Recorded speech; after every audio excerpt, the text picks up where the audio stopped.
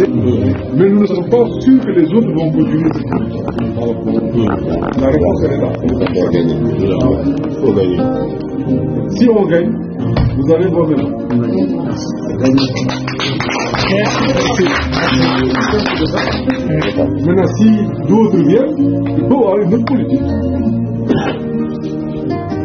Il faut avoir une autre politique. C'est vrai, le- le- le- vous avez la diaspora a un quota important. 25, 20%. Et ça nous Voilà. Et 20 000 logements. Donc, euh, même les demandes qui sont en cours, il n'y a pas de raison qu'on ne puisse pas les satisfaire.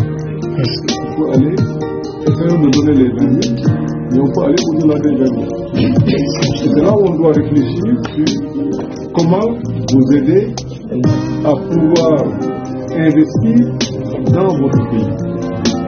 Et c'est important, madame l'a dit tout à l'heure.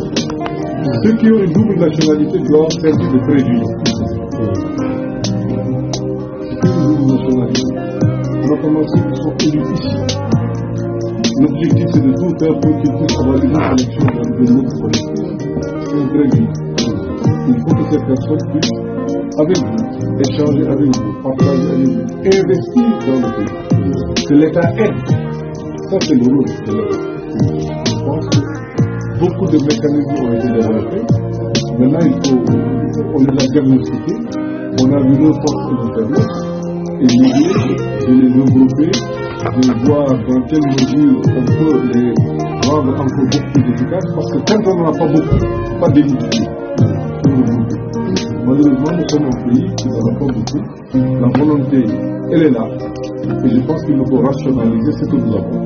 Et de ce point de vue, on va beaucoup compter sur ce qui vient de la diaspora. La transformation du Sénégal, la transformation du Congo, l'investissement. Moi, je l'attends plus de la diaspora. Vous êtes des vecteurs, vous pouvez amener beaucoup. Ce de partenariat, on va essayer de développer, c'est quoi? C'est on peut aller de l'avant. Séné- ministère en charge du Sénégal de l'extérieur. Peut-être il faut voir comment renforcer les capacités de ce ministère, de l'extérieur, pour que ce ministère ne soit pas là à régler des problèmes d'urgence.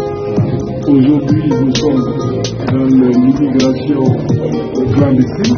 Le ministère s'oriente et travaille peut-être euh,